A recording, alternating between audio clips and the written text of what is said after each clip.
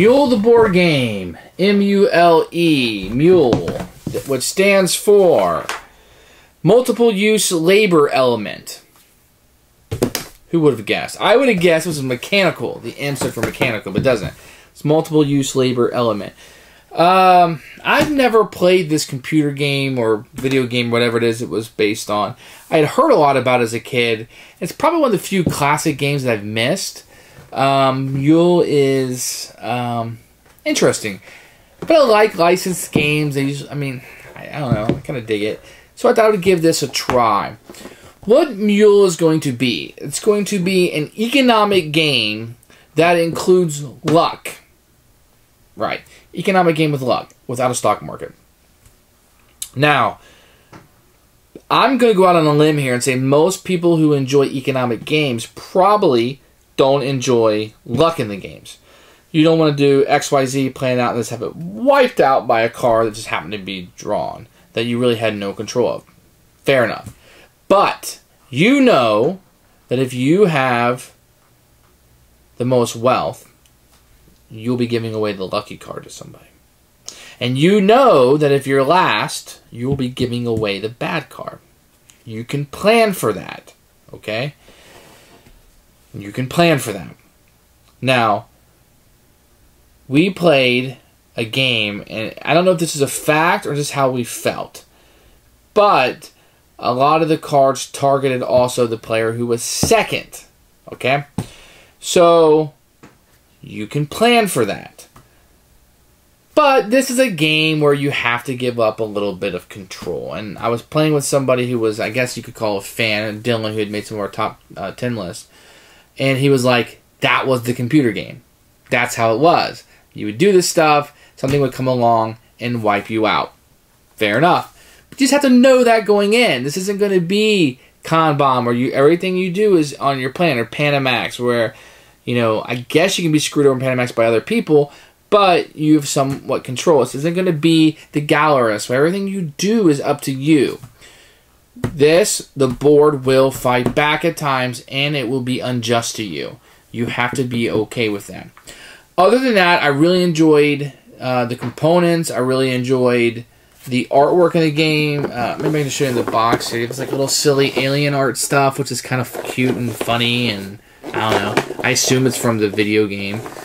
Um, the game doesn't play like a video game, though. It plays like an economic game where you're getting land and uh, you're pulling resource out of it and you're making these decisions. And then sometimes you may spend some actions to look at everything, or sometimes you just flip them over and hope for the best. That's Mule, I guess. And there's going to be luck in this game, but it's not too much luck and the luck over the course of the game should even out if you're playing the game. If you're like, wow, this wiped. Listen, there was somebody who got completely wiped out. It saved their purple crystallite, I guess what's called crystal light. What I kept calling it, like the drink, and totally got wiped out. And he was like, "That sucks." And I was like, "You know what? Everybody else sold their purple. You held on it, trying to play the market, and and hopefully you were going to manipulate it, and you lost. That happens sometimes. So it's not a stock market, but prices will fluctuate up and down. The purple is probably the most volatile one, and just got hosed on. It was a thing where the, all the purple got taken away. And you could say, well, if you know that was a deck you could have planned for, but not all the cards, not all the event cards are going to be in the deck for every game. So that card could have been in there and could not have been in there. That's Mule and you have to be okay with that. If you have to be in control and it has to be a dry euro, which I love, but you have to have every bit of control and no luck can be involved, this is not your game. This is going to be an economic game where things will happen to you and nobody else, and it will crush you or help you, and you will be screwed by it. Or it could help your neighbor win the game. That's Mule. So you have to you have to be okay with that. Put all that aside put all that aside because the game creates variants that you can do if you're not into that. You can minimize it, take those events out of the game, and that's fine. The game still works. But I'm big on playing the game as it's written, and then I can tweak it, I guess, later if I want to. But I'm, I'm pretty big on the rules of the rules. That's how they intended. If I don't like this game, then I'll move on to another game. I did like this game. Um, I didn't get ho- I didn't win, but I didn't get hosed as bad as some others in our epic game. Um, I've played this twice, two and a half times already. Um, one game we packed up a little bit early. I like what I see. Um, I do like Euro games, the dry ones, they will. I do like economic games, the dry ones. But this is a fun experience too. And while you know I can sit down and play with an eight year old, um, I could play this with a family with older children who were in this kind of thing and didn't mind a little fluctuation. And you just have to be okay. Now I played with what they call tournament rules, which is which is just um, the advanced rules, if you will, and they, they were a piece of cake. Um, this is a game I like. I didn't have a game like this in my collection. This kind of heavier economic game, but with the luck involved. I didn't have that. And that's gonna th- that gamer I don't think is gonna line up liking this amount of luck, but it worked for me, and I just I got to the point where I had um, go around the lock. When we first started the game, we were like, we listened to um, another reviewer said, don't do this. We ended up sticking with the rules in the book. Um, and it didn't go, we're going to screw this one person all the time, which was nice. And a lot of games, that person would be me. Uh, but in this game, we tended to try to screw people to make deals to get favors later. And um, who was winning and who would have hurt the least and the most at times. So it was kind of interesting. So I did like that.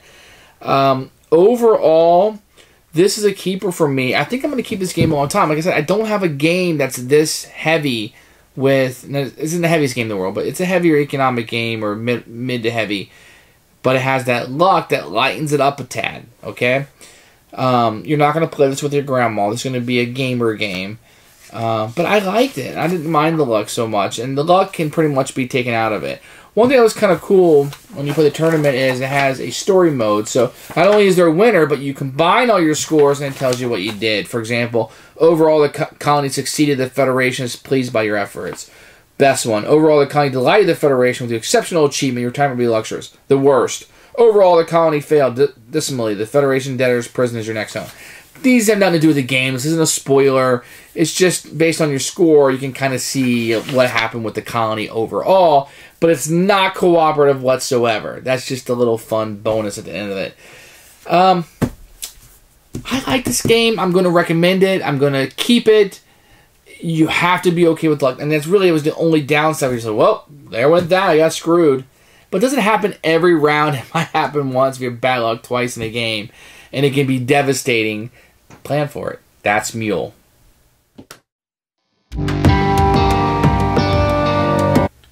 let me show you the components of the game. So, first thing let me show you is the money. It's going to come in lots of different shapes and colors, and so even the colorblind can be able to see this and kind of make their way through it. And there's numbers on them and different shapes, and they're easy to notice. And they're not paper; these are real hard cardboard, and you get a lot of it. You're going to have for a lot of these, you're going to have a little token and a five token. Unfortunately, these blue ones I had to sticker myself, which you know if you watch any of my videos, you know I despise. But I had to do all of these blues. The other ones you don't get stickers, which would have been nice if they did, but they don't. And they come in uh, four different colors, and you get the five and the ones. You're also going to get these tiles, which will be represent the land. They're fairly thick and nice and have all the icons you can clearly see. Some of them will have mountains on them, and the icons are pretty good. Uh, very easy, color coded and different, and you can flip them over and see what else is there. Okay.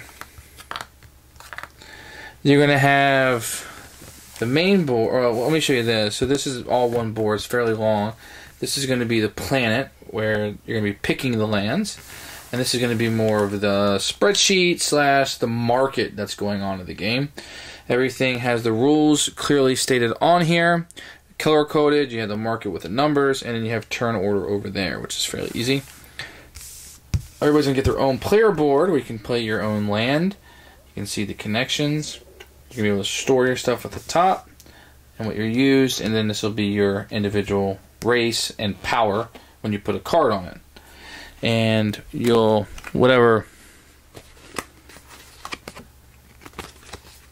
and these will be the cards that you'll put over it you can play without any powers. If you to play symmetrically, or you can have everybody take one of these that match their their race. I realize that these two don't match. But I'm just showing you the card, and we'll have a power. And these are all double sided, and you have quite a few of these of what you can do. And there's two for each race. So each race will have a red side. And they will also have a blue side. So let me show you the difference in the blue side. This is a humanoid setup. You start with $10 less and without a package from the world. He's an expert species. If you were to use the red side, start with $10 less and without a package from the earth, expert species. So you get two of those. and let's see. You're going to have a set of cards that will be events.